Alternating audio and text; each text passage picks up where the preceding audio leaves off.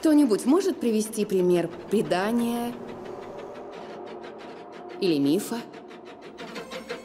Или волшебной сказки?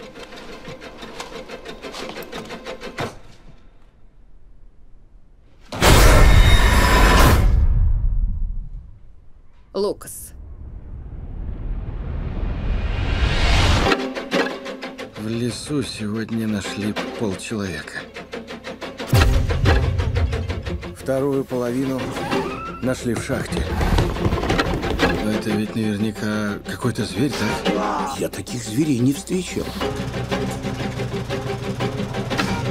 С Лукасом что-то не так. Это рисунки моего ученика. Вот что было в шахте. Это дьявольское отродье.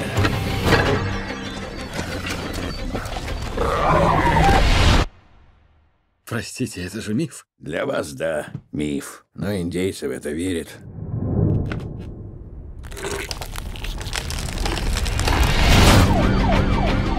Он придет за мной.